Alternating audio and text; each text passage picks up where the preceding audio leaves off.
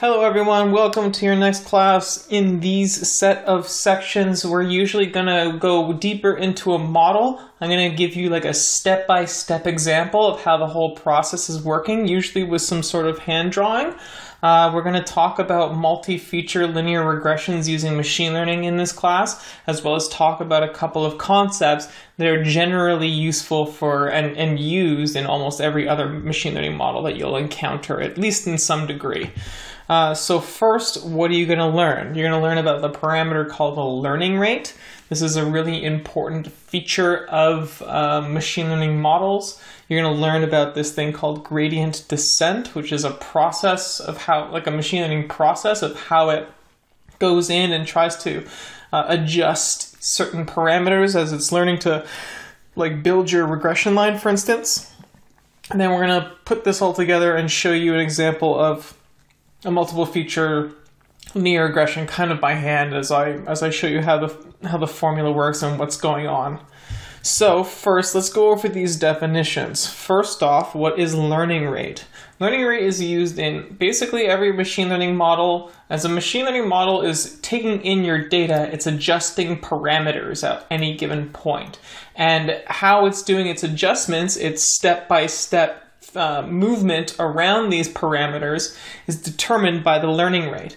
If something goes wrong and it has an error function that it's adjusting and up, uh, updating and manipulating, uh, the steps in terms of how refined the learning, uh, the, the, the change in parameters is occurring is related to this thing called learning rate. And it's important to um, be familiar with how uh, learning rate influences how your machine learning model is working. So we're going to spend a little bit of time talking about local and global maxima slash minima when we're talking about um, gradient descent specifically, which is all related to how the learning rate is going. Uh, next, gradient descent is a is a formula. It's a method that uh, takes uh, that evaluates how accurate or how uh, how the, the results of a cost function uh, uh, execution that we talked about before, uh, and sees how how costly that specific uh, formula or that iteration was. And if it's greater or worse than what it was before, it uses derivatives to compare the effective change across uh, different models that it's testing, different like linear regression lines that it's checking out. And in order for it to land on the best linear regression line, it's going to use this process of gradient descent to try and minimize error as quickly as possible.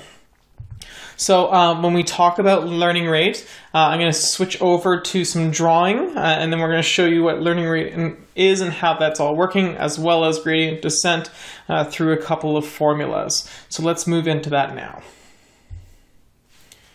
Okay, as you see here, first off, what we have is um, our function for how to uh, for for learning within our linear regression model.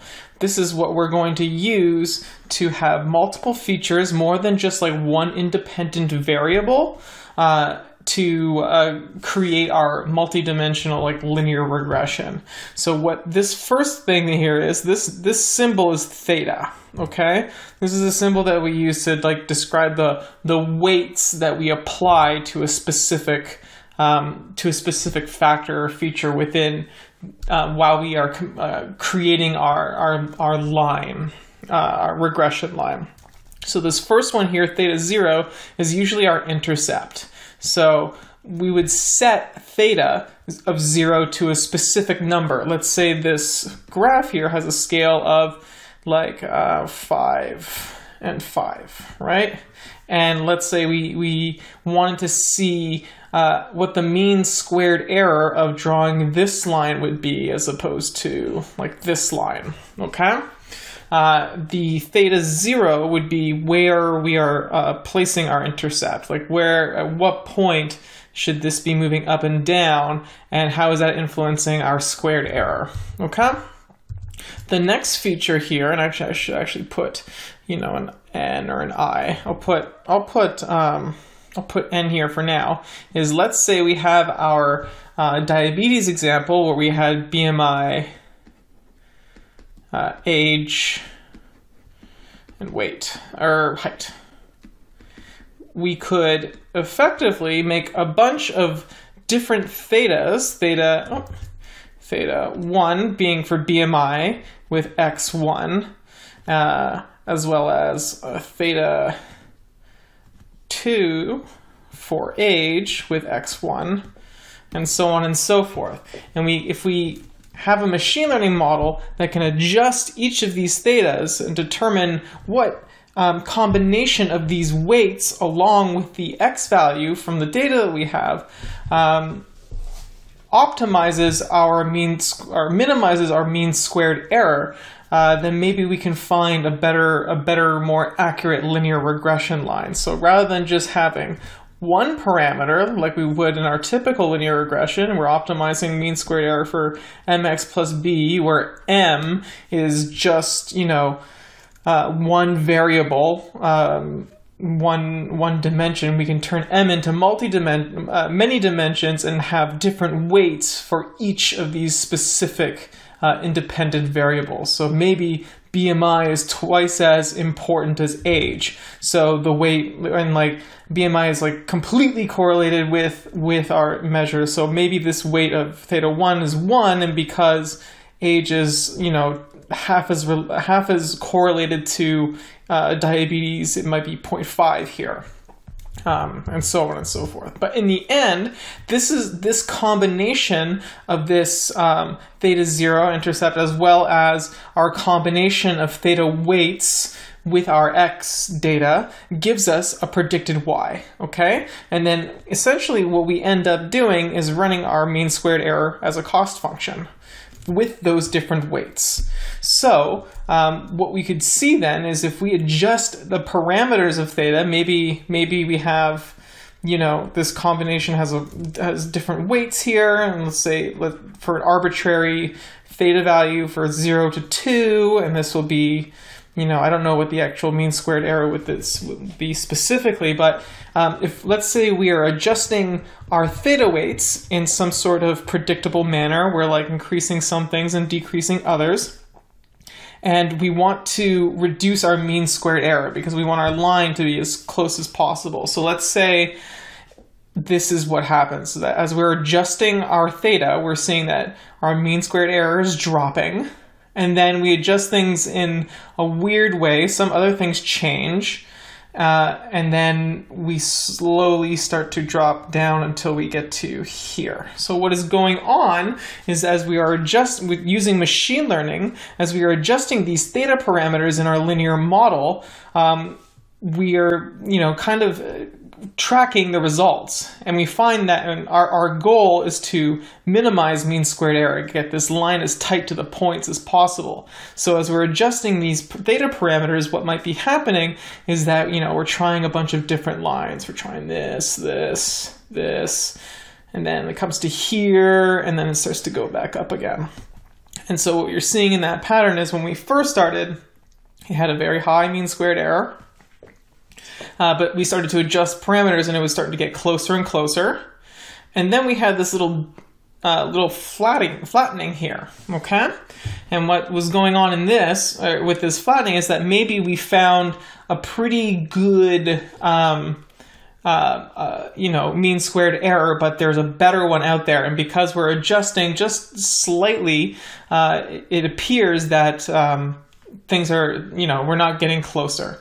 So as we, if we continue to adjust our parameters, we might see that over time, it gets a little bit larger and then it starts to go down and down. So what is going on here? Uh, basically what I'm trying to suggest to you is uh, a couple of concepts. First off, the amount of adjustment that we are making from point to point is our learning rate. It's how, how often we are checking our mean squared error. So we could technically have more or less of these circles to the point where um, we might even miss. Um, I'm going to back up here a little bit so that we might even miss, if we had like a larger learning rate, we might even miss that little dip over there and kind of just go straight to something like this.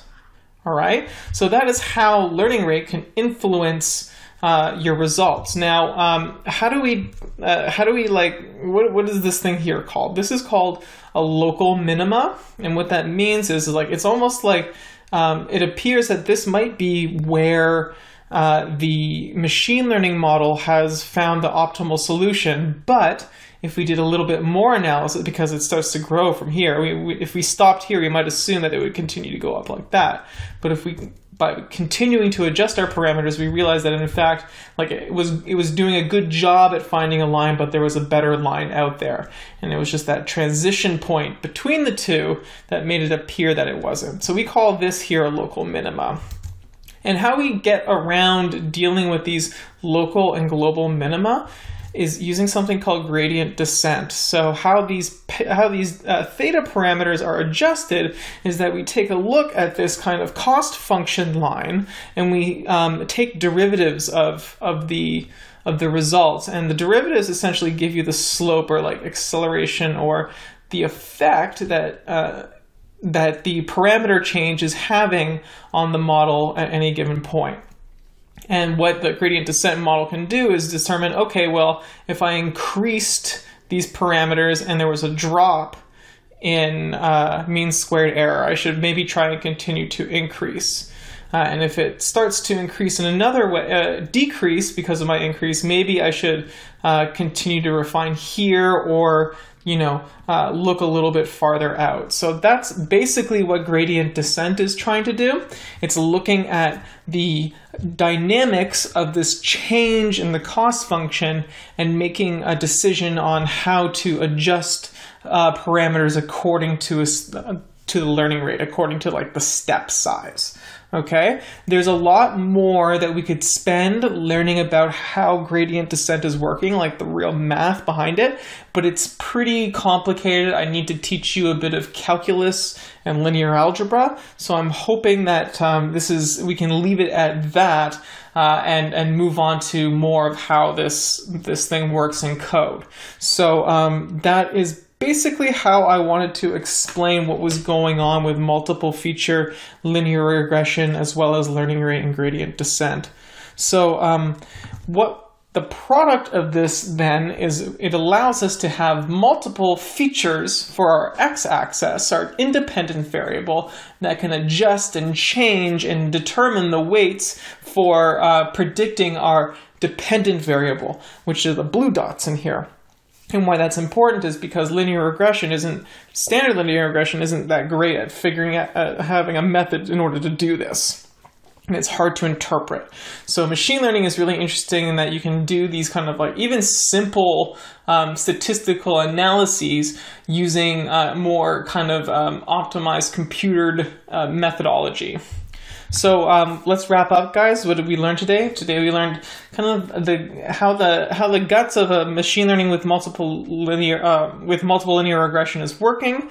I taught you the concept of learning rate, which is almost like step size for adjusting parameters for adjusting learning. Uh, you know the parameters that influence the cost function in your model, and we talked about how the dynamics of gradient descent are working, and that uh, very lightly that it's like comparing the rate of change between uh, cost function, uh, like the, in the cost function and determining how it should move around adjusting parameters.